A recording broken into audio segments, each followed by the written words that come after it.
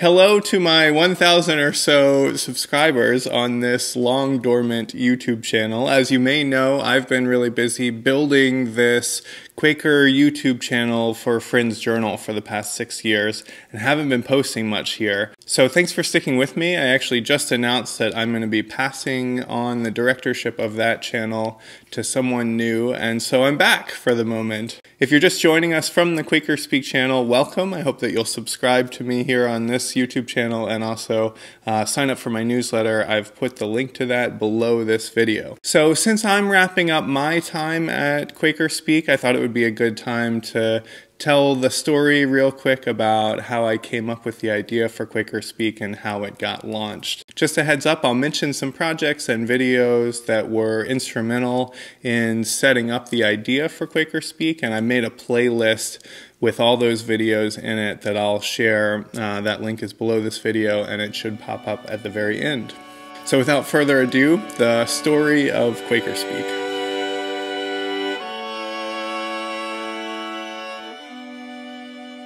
So, in order to get started with the story of Quaker Speak, we have to rewind a little bit to 2006. I was a senior at Guilford College, and for the Quaker Leadership Scholars program there, I had to do a senior project.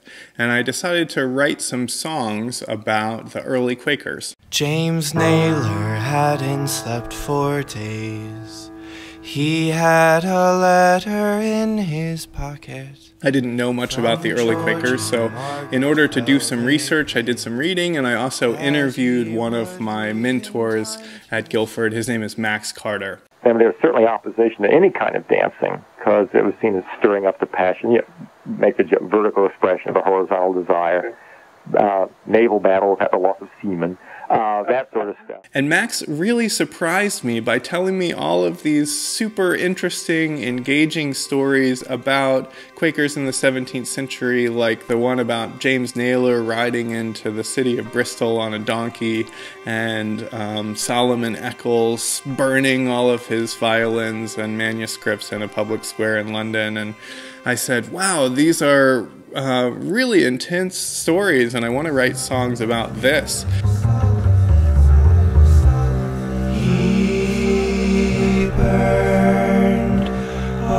His instruments and his lovely violin. So I ended up taking the recording of the interview with Max and basing an entire album of music on the stories that he shared with me, and even using some of the audio from that tape recorder um, in the songs that I had written. Early fans believed that they were restoring original Christianity and uh, in their own experience, there was no need for programming in hymns and rites and rituals and liturgies because they had the very presence of the living God. I invited a bunch of other Quaker musicians at Guilford to come record with me, and at the end of my senior year, we released it as an album called A Few Songs Occasioned by the Spirit.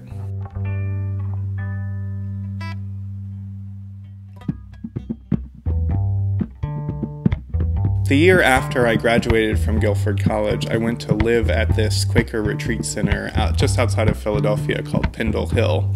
At Pendle Hill, I wrote some more songs about Quakers, but this time more autobiographical about my own Quaker journey, growing up Quaker in Baltimore Yearly Meeting and the camping program and the Young Friends program there. One of the autobiographical songs that I wrote about growing up Quaker, I decided to make into a music video. The song is called Friend Speaks My Mind, and the idea behind the music video was it was going to be a silent Quaker worship where I stand up and start giving vocal ministry, but the vocal ministry is this song, Friend Speaks My Mind. And then friends around me get inspired and start tapping their toes and playing instruments, and then eventually the whole thing just erupts into a raucous dance party. So all you friends in the meeting house, put your hands up and then twist them at the wrist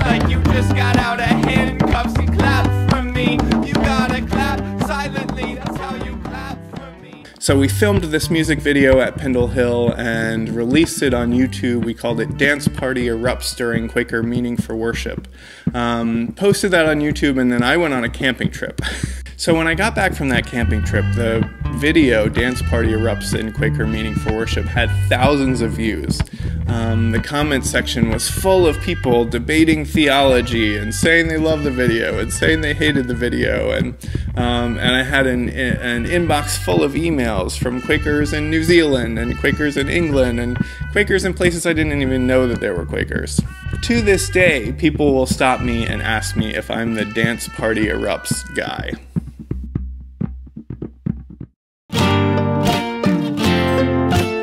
So there was so much engagement and rich conversation around the dance party video. I started asking myself some questions like, what does Quakerism look like in the age of the internet?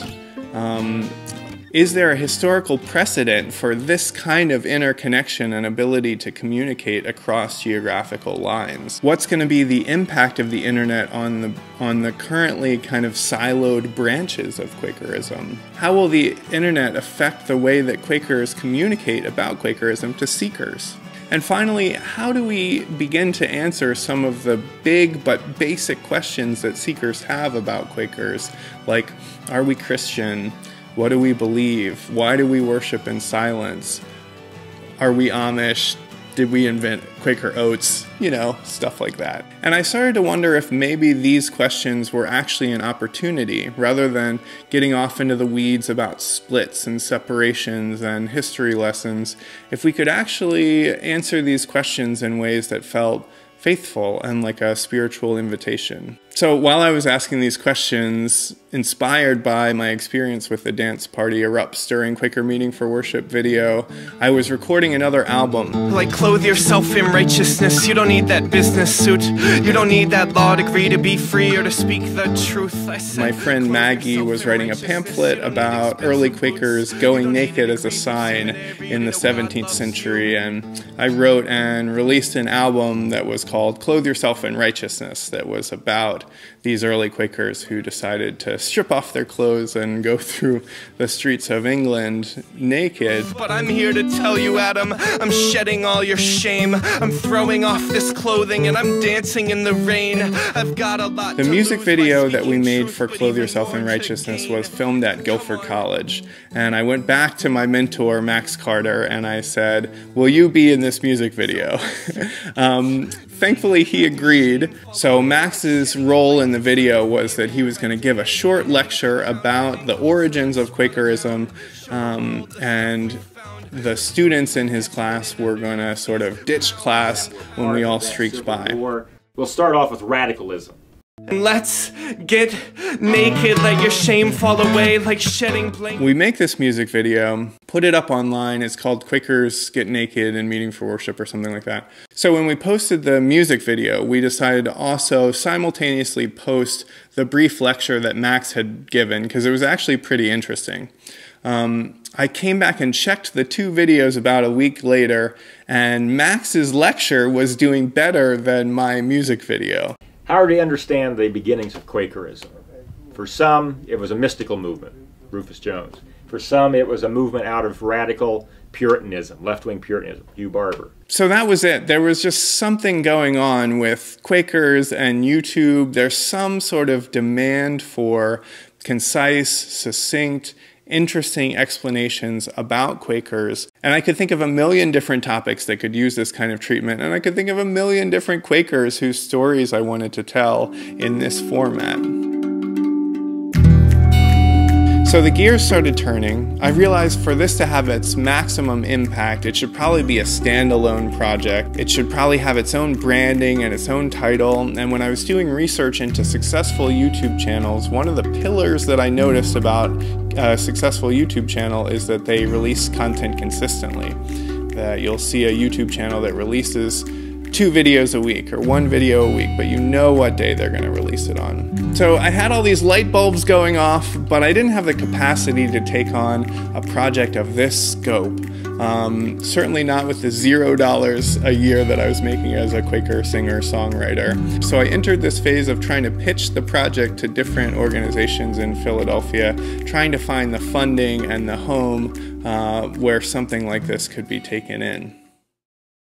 So I was seeking funding and I was seeking a home for this Quaker YouTube channel that I had decided would be called Quaker Speak.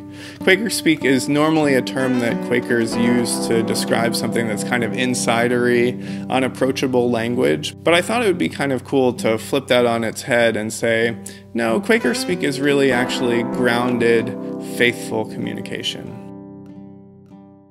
So there was this sort of funny period where I was wandering around Philadelphia um, talking to anybody I could about this project and handing out these postcards. Let's see, I've got them over here. Um, it's, uh, let's see if I can get this in focus.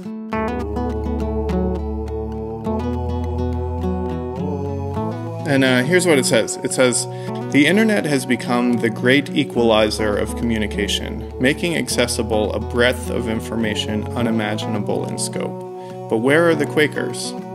The next generation of friends are already out there Googling Quakers and searching for engaging material on YouTube. Let's give them something to get excited about. The Quaker Speak project aims to provide exactly that, using the internet to widely distribute video interviews with friends whose ministries inform us, uplift us, and challenge us. Quaker Speak is a YouTube channel. Its goal is to release weekly short videos tailored for an internet audience starting in fall of 2013. Did it!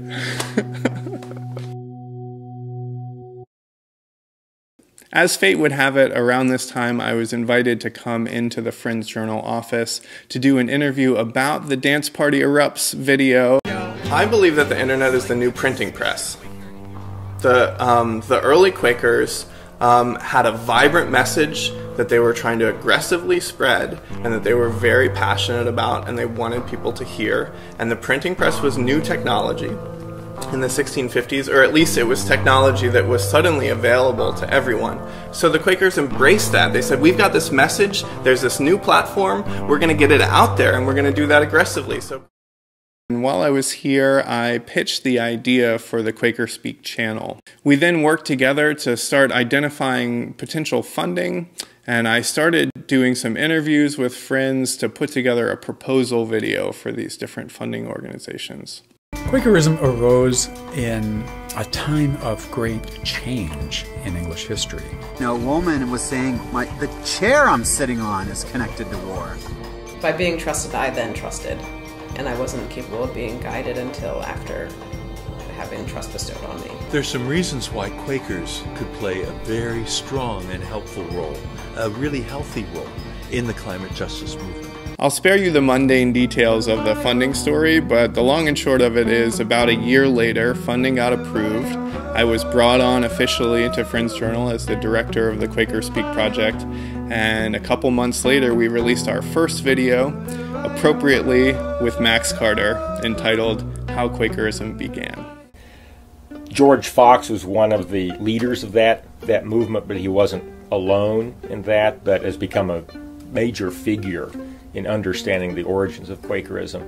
Uh, he became tired of what he saw as hypocrisy in the church of his uh, youth, and about the age of 19, he left the church, uh, started wandering about seeking a direct spiritual experience that spoke to his condition. Of course, a lot has happened since then. The project has blossomed into this international resource for friends and seekers. I've gotten to interview hundreds of Quakers for the project, and we've released over 200 videos. The project has over 2.7 million views. Thinking back to those humble beginnings with a tape recorder, it's hard to conceive how far we've come in such a short time.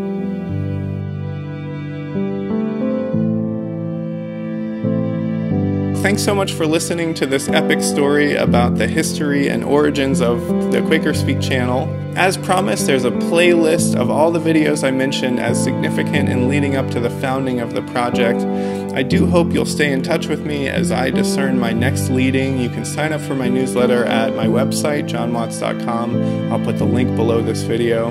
Thanks so much for watching, and have a great Thursday.